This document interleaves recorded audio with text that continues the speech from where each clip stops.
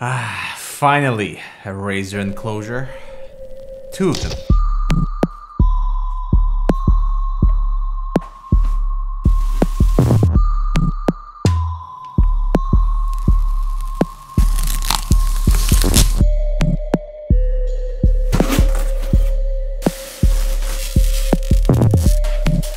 So yes, these are the two new Razer Tomahawk enclosures, a mini ITX version and a full-size ATX mid-tower. 400, 400. Yeah. Ah, the Rival 3 wireless. Nice.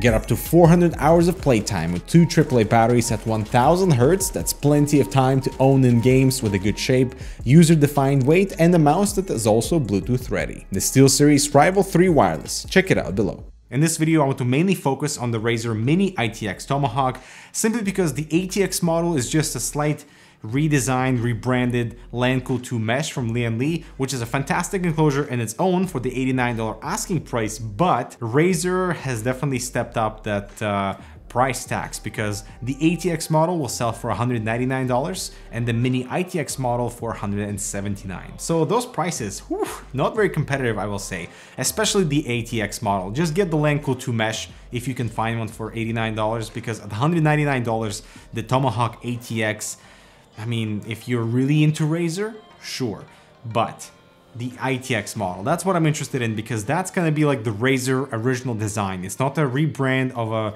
existing Lian Li tower. Actually, after having looked over my Lian Li TU150 review, this is the exact same frame with modifications uh, for the top. So the cables are no longer routed through the top channels down there on the side. So you can have space for radiators there. And the power supply mount has been moved down. But Otherwise, it looks like it's the exact same frame. So here, it kind of falls on the same suite, but with the design is slightly different, still very elegant, but price point is not competitive at $179. But when we compare it to some unique ITX options that came out this year, like the NR200, which is incredible for the $79 price point, extremely optimized, check out our full review. Plus we have the new Phanteks Shift Air 2, which is awesome again, that towering form factor, really optimized for airflow for both the GPU and CPU. Luckily, the Tomahawk ITX has a few tricks up its sleeve, so it's not completely left in the dust, but simply from a price perspective, I wish they were a bit more aggressive. For example, the frame is made entirely of steel. For the price point, I was hoping to find some aluminum pieces,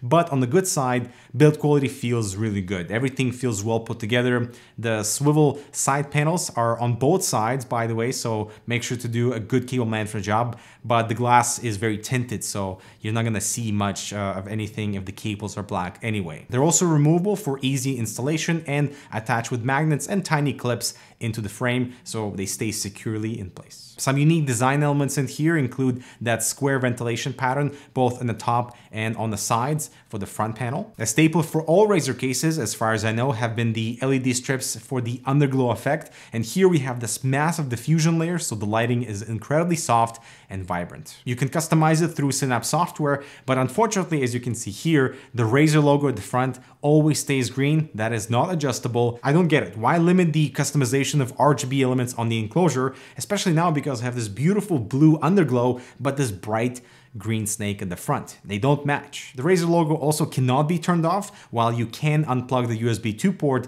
for the underglow, so you can either turn off through the software or just unplug it from your motherboard. The I.O. is at the top with two USB 3 ports, power reset, separate audio connectors, which I appreciate, and a USB-C Gen 2, with a nice long cable for the motherboard. I appreciate that the top and the front panels sit on clips and are easily removable. So for the front panel, you can see we have removable dust filters on each side of the ventilation. Although, let's be real, this front panel is a complete choking hazard, especially after that filter is installed.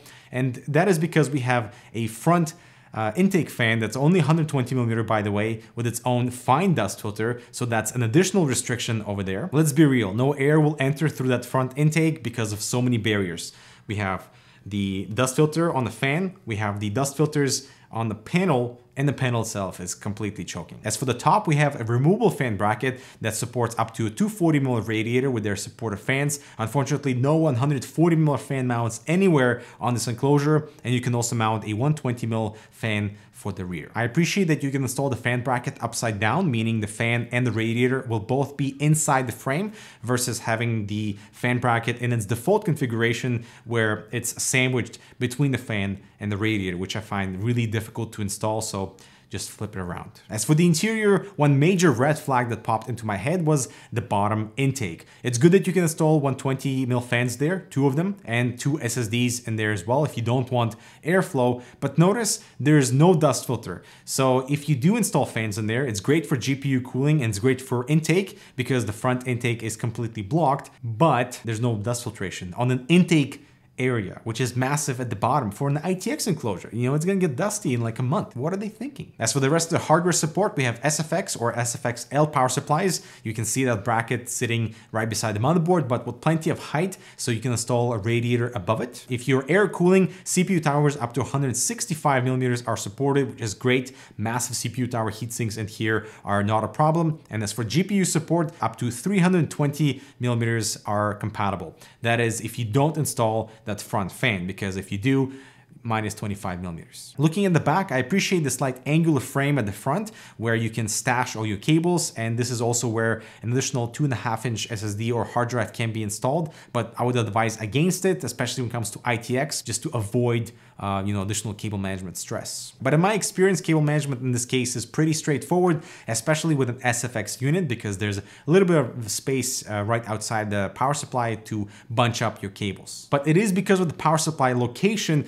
you encounter some little iffy compatibility and bad optimizations of the space. So number one, that power extension cable is kind of weird because in my configuration with the power supply fan facing down towards the GPU, I could not uh, route the cable because it's way too bulky and it's exiting towards the right side in, in this configuration. So I had to actually rotate the power supply so it is facing up for a cable to fit in place. Furthermore, because of this location, the tubes on your all-in-one cooler or radiator have to exit near the back, not the front. At the front, they simply don't fit. And this is also a pretty bad optimization of space because that power supply section cannot be converted to support ATX units. So for example, if you're not water cooling, then you could utilize that space for an ATX power supply, but you know, the case is not built for that. It's SFX only. Now, on the one hand, this is exactly the type of ITX case I love working with. There's plenty of space for a large CPU tower heatsink, lots of room for cable management, and overall it's an easy case to work in, unlike something really compact where you spend like five hours trying to figure out the exact assembly procedure. Here, it's identical to any mid tower, but everything is just shrunk. But on the other hand, for $179, I feel like the ITX community would expect more in terms of optimization of space, giving you more options for power supply, especially maybe more options for storage as well, because the case isn't very small. It's close to almost 30 liters. Plus, no fans are included and no dust filtration at the bottom. And I find that ridiculous because of how much dust filtration there is at the front. In terms of cooling, it's not a chart topper, but it doesn't perform bad either, given its uh, like uh, choking nature at the front.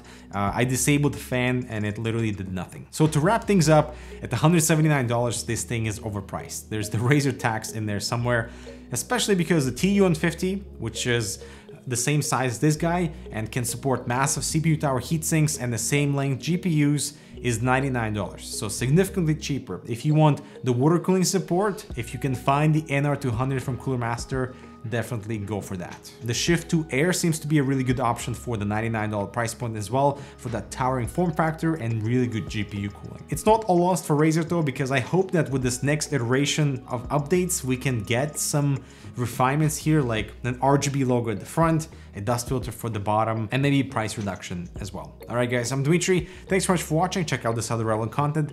Subscribe for more. I'll talk to you in the next video.